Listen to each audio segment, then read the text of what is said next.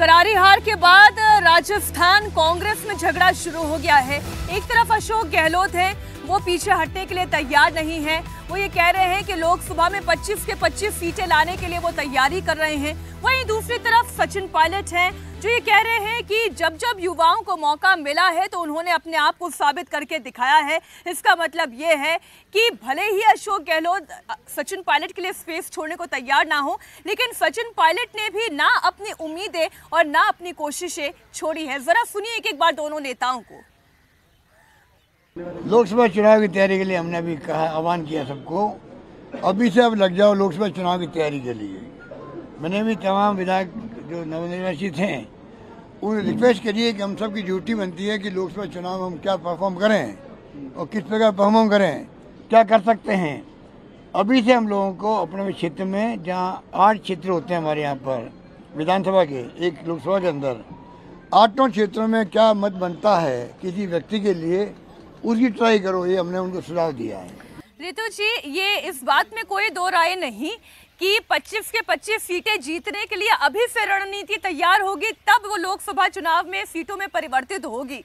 लेकिन साथ ही साथ ये कह देना, सचिन पायलट का कि युवाओं को मौका मिलना ही चाहिए। इसका मतलब तो ये है ना कि अशोक गहलोत अभी भी वो स्पेस देने के लिए तैयार नहीं है युवाओं को स्पेशली सचिन पायलट को।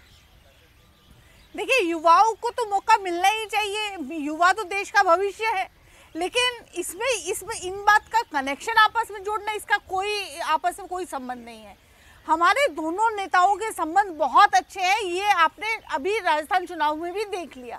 और दूसरी बात, मैं बताऊँ कि युवाओं को मौका भाजपा में भी मिलना चाहिए, मैडम। अभी जो है, अभी देख लीजिए कि मोदी जी ने जो है, जो चेहरे उतारे, उनके खिलाफ कितने जो है, कितनी आवाज़ें उठी, कितनी बगावत हुई उसके खिलाफ।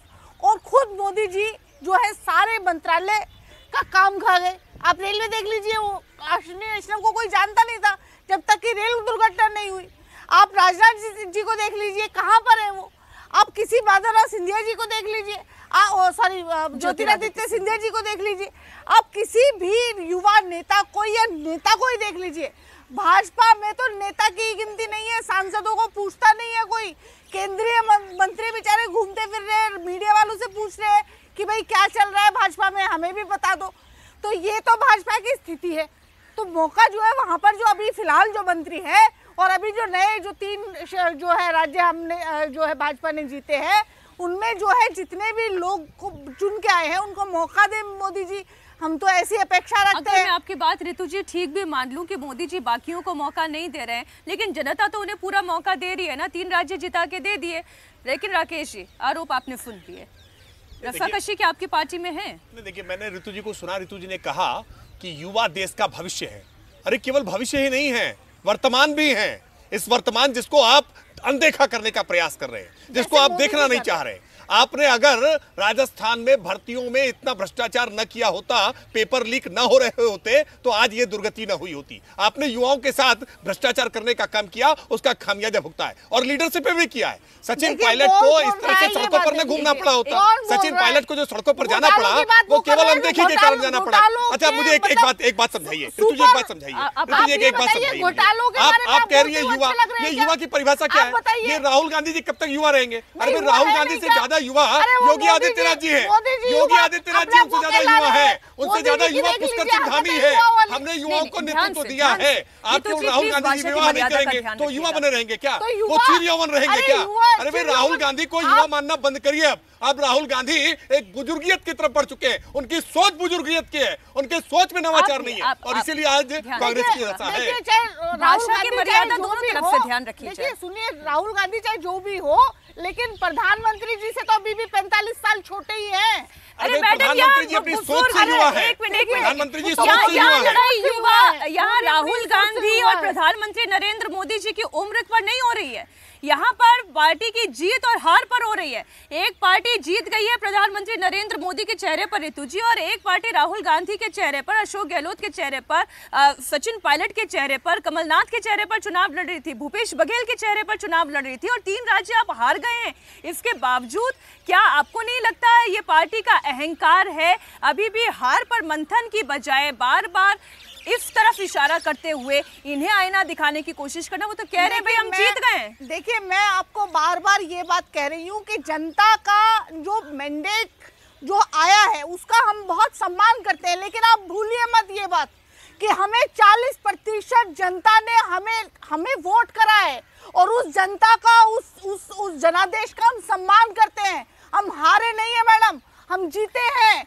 हम हम लोगों का दिल लेकिन इस जीत के साथ 2024 की सीटें आप कैसे जीतेंगे? अगर सचिन पायलट और अशोक गहलोत के बीच में सामंजस्य नहीं बैठा तो राजस्थान की 25 सीटें कैसे जीतेंगे आप? देखिए ये अगर मीडिया बार बार ये बोलेगा एक झूठ को दस बार दोहराने से वो सच नहीं हो जाता है। इस प्रकार की कोई स्थिति राजस्थान में है नहीं। और हाँ सचिन पायलट जी को उनका अधिकार उनका हक मिलना चाहिए। वो समय आने पर मिलेगा और राहुल गांधी जी ने उन्हें पूरा सम्मान दिया है। अरे मैं तो दूँगा नहीं मीनाक्षी जी देंगी नहीं। ये देने का काम तो कांग्रेस का है ना। उनको सड़कों पर निकल करके आंदोलन करना पड़ा कि उनको मुख्यमंत्री से इस्तीफा देना पड़ा।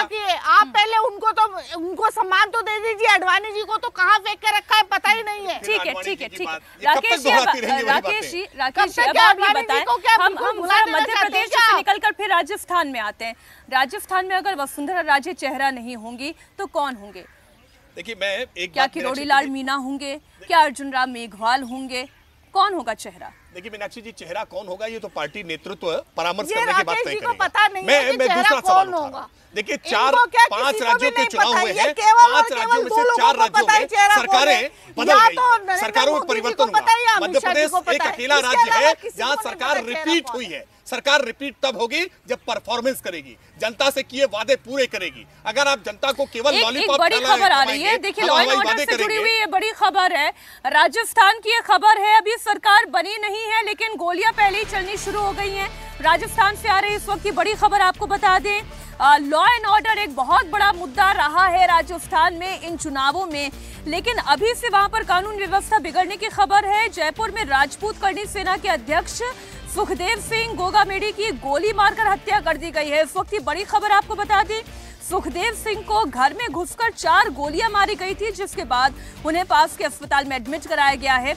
अस्पताल में सुखदेव सिंह की मौत हो गई। इलाज के दौरान उनकी मौत हो गई। सुखदेव सिंह गोगा गोगामेडी लंबे समय से राष्ट्रीय करणी सेना से जुड़े हुए थे। उन्होंने करणी सेना संगठन में विवाद के बाद राष्ट्रीय राजपूत करणी सेना नाम से अलग संगठन बना लिया था। अब आप देखिए, उनकी हत्या कर दी गई है। राजस्थान में लॉ एंड ऑर्डर का विषय एक ग्रेट कंसर्न रहा था इस चुनाव में। खास तौर पर बीजेपी की ओर से बार बार ये मुद्दा उठाया गया। अब इस तरीके की खबर सामने आना। लॉरेंस बिश्नोई गैंग पर इसका आरोप लग रहा है। सीसीटीवी फुटेज के आधार पर बदमाशों की तलाश में इस वक्त पुलिस लगी हुई है। ये बड़ी खबर आपको बता रहे हैं। सुखदेव सिंह गोगामेडी की हत्या हो गई है। अ, ये बहुत ही चिंताजनक खबर है राकेश जी। निश्चित तौर पर ये चिंताजनक भी है आक्रोश उत्पन्न करने वाली भी है और जनता में इस बात का आक्रोश था इसलिए परिवर्तन हुआ है।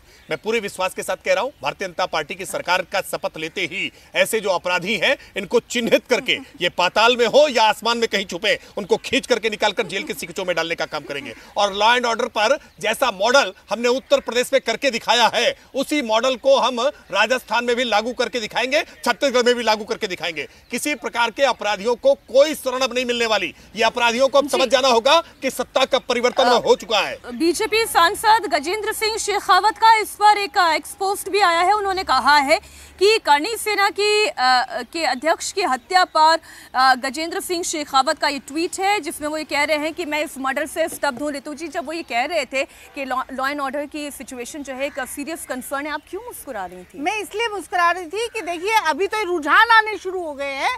अभी देखिए लॉ एंड ऑर्डर की स्थिति क्या हो गई। और बड़ा अच्छा भाषण दिया राकेश जी ने कि हम ये करेंगे, वो करेंगे। कितना किया पहले भाई, ये तो बताइए। वो मणिपुर आज तक जल रहा है। कल की रिपोर्ट है, तेरह आदमी वहाँ पर फिर मारे गए। वहाँ की स्थिति आज तक संभाल नहीं पाए। कितना आपने लॉ एंड ऑर्डर कंट्रोल किया? ये तो बताइए आप। बच्चियों का बलात्कार हो रहा है।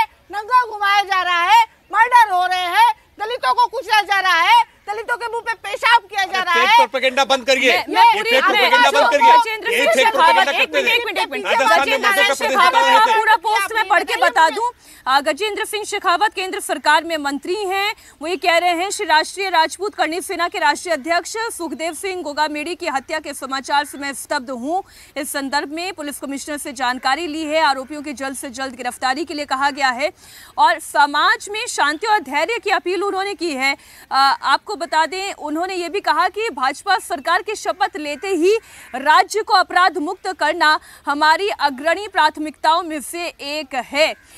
ये प्राथमिकता तो किसी भी सरकार की होनी चाहिए, राकेश जी। चाहे वो बीजेपी की हो, चाहे कांग्रेस की हो, इस तरीके से घर में घुसकर हत्या कर देना, ये बहुत ही चिंताजनक खबर है। इस तरीके से अपराधियों के हौसले कैसे बुलंद हो सकते हैं? देखिए मैं बिल्कुल सहमत हूँ इस बात से कि बिना सत्ता के संरक्षण के इस प्रकार से अपराधियों के हौसले बुलंद नहीं हो सकते। अगर अपराधी को यह मालूम होगा कि हमें सत्ता का संरक्षण नहीं मिलेगा कोई अपराध करूँगा तो पुलिस बहुत ठोस और कठोर कार्रवाई करेगी। अपराध करने से पहले सौ बार सोचेगा। उत्तर प्रदेश का मैं एक उदाहरण दे रहा हूँ कि कैसे उत्तर प्रदेश में कितने माफिया थे एक एक माफिया को चुन चुन करके आज उसका हिसाब करने का काम किया है। आज उत्तर प्रदेश कैसे कानून व्यवस्था ऐसा ही मॉडल हम राजस्थान में ठीक करेंगे। मिनट एक मिनट उत्तर प्रदेश वाला काम राकेश जी राजस्थान में तो तब होगा ना जब आपकी सरकार शपथ लेगी। शपथ कब होगी? नहीं नहीं बहुत जल्दी शपथ होगी। अब चुनाव हुआ है परिणाम आया है विधायक दल की बैठक होगी उसकी एक प्रक्रिया होती है। कोई बिजली का स्विच ऑन कर देने जैसा नहीं है। ये समय लगता है एक नेचुरल प्रोसेस है उसका नेचुरल प्रोसेस पूरा करेंगे लेकिन ये सवाल इसका जवाब अभी भी कांग्रेस से लिया जाना चाहिए कि क्यों ऐसी परिस्थितियाँ उत्पन्न की कि लोग ये नारे लगाते हैं सर तन से जुदा और उसके बाद कन्हैया लाल का जाकर के सर तन से जुदा कर देते हैं। ये कांग्रेस ने परिस्थितियाँ उपजाई थी। तो अपराधियों को पनाह देंगे तो अपराधियों को संरक्षण देंगे। जब जवाब ये परिस्थितियाँ निकल करके आती हैं ये परिस्थितियाँ बदलाव करेंगे हम हम इस बात की ज़िम्मेदारी लेते हैं कि परिस्थितियाँ बदलेंगी।